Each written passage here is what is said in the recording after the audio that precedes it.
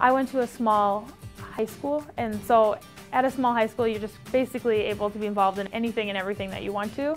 And I never expected that I could be involved in different areas in college because everyone said, you know, you have to pick one or two things that are important to you and that's that's it because that's all you have time for. And coming to Hamline, it has opened so many doors for me because it really has allowed me to be involved in anything and everything that I've wanted to.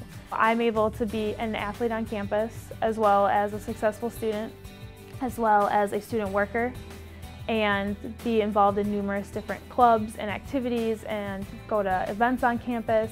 And I have time for all of that. Hamline is definitely a community. I think that is one of the best ways to describe what campus life is like. You really get to know everybody on campus, whether it's classmates, friends, professors, just people in different departments on campus. It really helps further your education and that everybody really wants you to succeed. I also like to be able to walk into my professor's office and they know who I am. They see me and they say, oh, you know, we just took that test, this is how you did on it.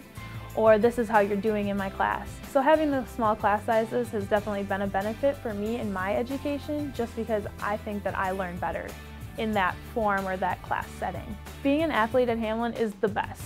It really is. I think that being an athlete has definitely shaped my college experience tenfold. Your coaches understand that you are a student first and then an athlete. Hamline's location is ideal. You have two great cities that you can network in um, with Minneapolis and St. Paul in terms of jobs and internships and things like that to further your career, but also just a plethora of options to indulge in in your free time.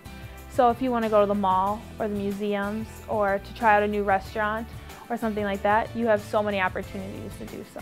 There really is no one definition of a clear-cut Hamline student. People come from different cultures, different religions, um, different walks of life, different backgrounds. It creates just a great diverse community and that's what really makes Hamline unique from other schools and makes it such a good place to go to school. So if you're looking for a tight-knit community, great professors, academic prestige, great people, and a hands-on learning experience, Hamline is the place for you.